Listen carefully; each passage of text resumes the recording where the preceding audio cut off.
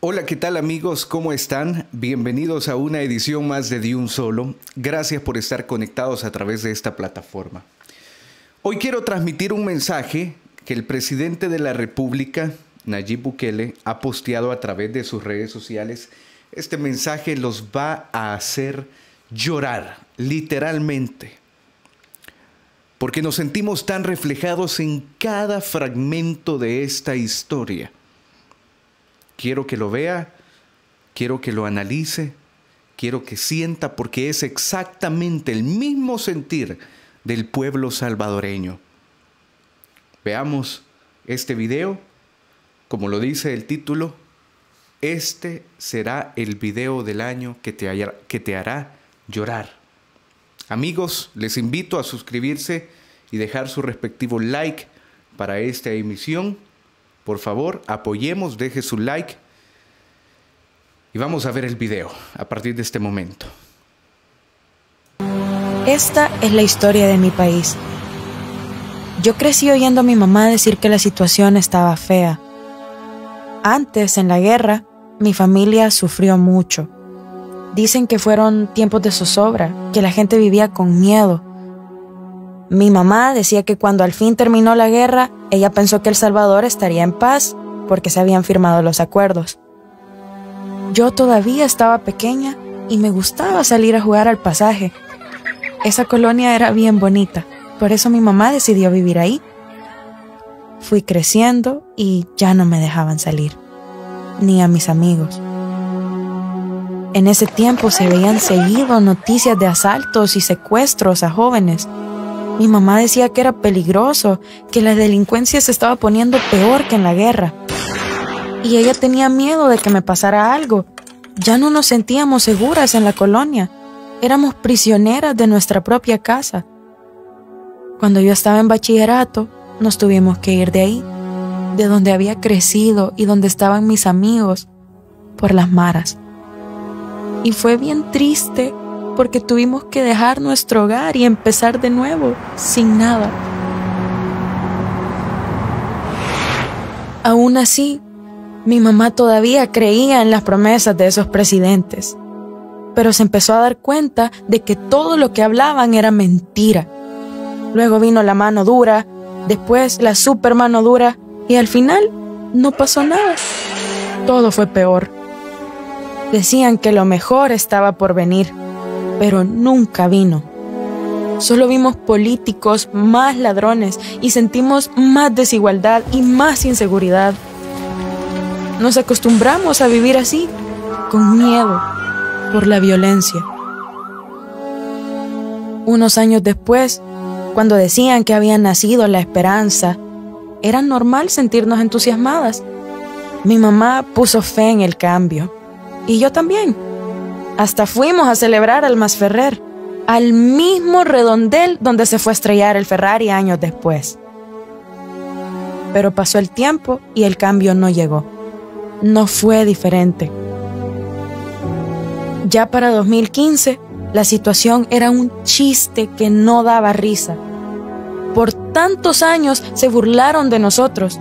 Nos mintieron y nos robaron, no solo millones de dólares, nos robaron hasta nuestros sueños. Esa es la historia triste y fea que quisiéramos dejar atrás.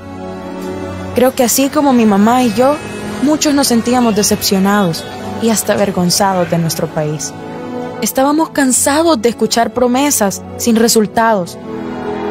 Y luego ganó Nayib. Ella pensó que sería igual. Mi familia y yo no esperábamos mucho pero poco a poco nos fuimos sorprendiendo. Hace un año que mi mamá no está conmigo y recuerdo que en sus últimos días ella me dijo, estamos empezando a ver El Salvador que siempre quisimos ver. Y eso fue unos meses antes de que nos golpeara la pandemia a todos. No solo a nuestro país, sino a todo el mundo.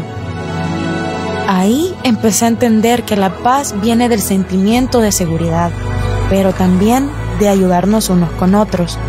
Mi mamá también decía que la gente estaba cambiando, que estaba volviendo a sentir confianza. Y yo no recuerdo haber sentido esperanza nunca, hasta hoy. A veces tengo algo de temor cuando voy en la calle, pero nadie puede negar que es muchísimo más seguro que antes. Todavía siento raro sacar el celular en el microbús. Hace un tiempo ni eso se podía hacer. Antes era impensable ir al centro histórico y tomarse fotos. Ahora siento orgullo de decir que soy salvadoreña cuando me preguntan de dónde soy. Creo que todos sentimos la diferencia en casi dos años, pero todavía falta mucho por hacer. Al fin están invirtiendo de verdad en salud y en educación, y hasta se han asegurado de que todos tengamos comida en nuestra mesa. Así como mi familia, este país ha vivido tanto. No ha sido fácil volver a tener esperanza después de todos estos años. Ahora empezamos a ver resultados. Y aunque nos seguimos cuidando de esta pandemia, siento que por primera vez en mucho tiempo, al fin, hoy puedo decir que estamos escribiendo una nueva historia. Wow, señores, qué mensaje más grande, qué mensaje más grande. Me pone, mire los pelos, yo no sé si usted alcanza a ver, me pone los pelos de punta, chinito, porque esta es la historia de millones de salvadoreños que creyeron durante tanto tiempo en diferentes cambios, que dijeron de que iban a apoyar a El Salvador.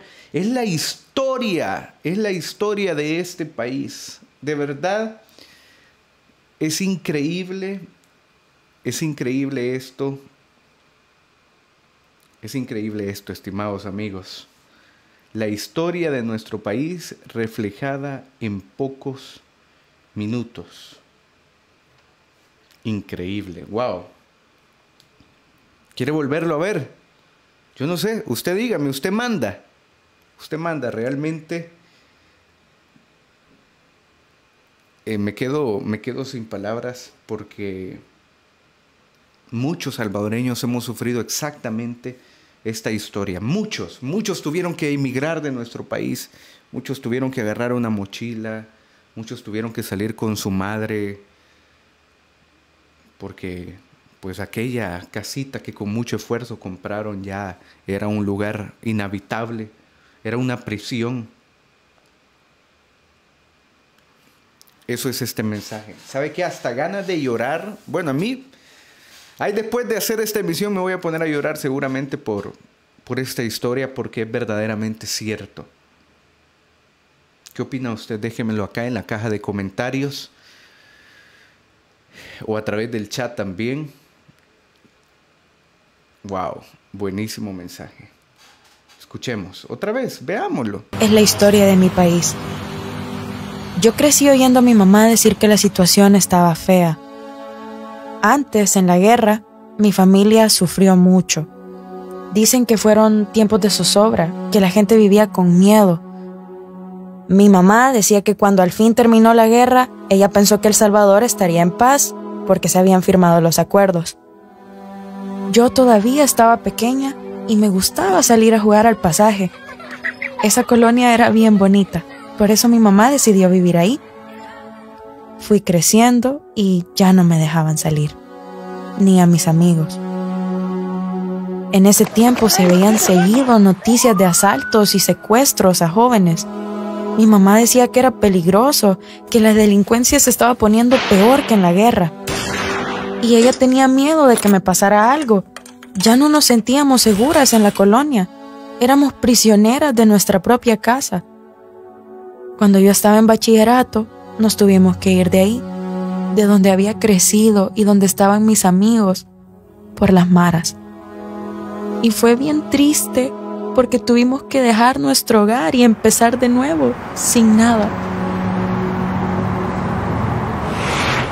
Aún así, mi mamá todavía creía en las promesas de esos presidentes, pero se empezó a dar cuenta de que todo lo que hablaban era mentira. Luego vino la mano dura, después la super mano dura y al final no pasó nada. Todo fue peor. Decían que lo mejor estaba por venir pero nunca vino. Solo vimos políticos más ladrones y sentimos más desigualdad y más inseguridad. Nos acostumbramos a vivir así, con miedo. por la violencia. Unos años después, cuando decían que había nacido la esperanza, era normal sentirnos entusiasmadas. Mi mamá puso fe en el cambio. Y yo también. Hasta fuimos a celebrar al Masferrer, al mismo redondel donde se fue a estrellar el Ferrari años después. Pero pasó el tiempo y el cambio no llegó. No fue diferente. Ya para 2015, la situación era un chiste que no daba risa. Por tantos años se burlaron de nosotros. Nos mintieron y nos robaron, no solo millones de dólares, nos robaron hasta nuestros sueños. Esa es la historia triste y fea que quisiéramos dejar atrás. Creo que así como mi mamá y yo, muchos nos sentíamos decepcionados y hasta avergonzados de nuestro país. Estábamos cansados de escuchar promesas sin resultados. Y luego ganó Nayib. Ella pensó que sería igual. Mi familia y yo no esperábamos mucho, pero poco a poco nos fuimos sorprendiendo. Hace un año que mi mamá no está conmigo y recuerdo que en sus últimos días ella me dijo, estamos empezando a ver El Salvador que siempre quisimos ver. Y eso fue unos meses antes de que nos golpeara la pandemia a todos. No solo a nuestro país, sino a todo el mundo. Ahí empecé a entender que la paz viene del sentimiento de seguridad, pero también de ayudarnos unos con otros. Mi mamá también decía que la gente estaba cambiando, que estaba volviendo a sentir confianza. Y yo no recuerdo haber sentido esperanza nunca, hasta hoy. A veces tengo algo de temor cuando voy en la calle, pero nadie puede negar que es muchísimo más seguro que antes. Todavía siento raro sacar el celular en el microbús. Hace un tiempo ni eso se podía hacer. Antes era impensable ir al centro histórico y tomarse fotos. Ahora hasta siento orgullo de decir que soy salvadoreña cuando me preguntan de dónde soy. Creo que todos sentimos la diferencia en casi dos años, pero todavía falta mucho por hacer. Al fin están invirtiendo de verdad en salud y en educación, y hasta se han asegurado de que todos tengamos comida en nuestra mesa. Así como mi familia, este país ha vivido tanto. No ha sido fácil volver a tener esperanza después de todos estos años. Ahora empezamos a ver resultados y aunque nos seguimos cuidando de esta pandemia, siento que por primera vez en mucho tiempo, al fin, hoy puedo decir que estamos escribiendo una nueva historia. Ahí está el mensaje, estimados amigos, increíble mensaje de este día. Si a usted le ha gustado este video, le voy a invitar a que se suscriba, a que nos deje su respectivo like para este video que hemos hecho para todos ustedes este día. Espero que les guste de todo corazón. Gracias por estar conectados a través de esta emisión. Que Diosito me los bendiga a todos. Recuerde que puede elegir qué video quiere ver. Cualquiera de los videos que aparece acá en pantalla puede elegir eh, y puede ver a través de esta plataforma. Dios nos bendiga a todos. Increíble mensaje el de este día. Nos ha dejado una reflexión profunda, sin duda alguna. Hasta la próxima.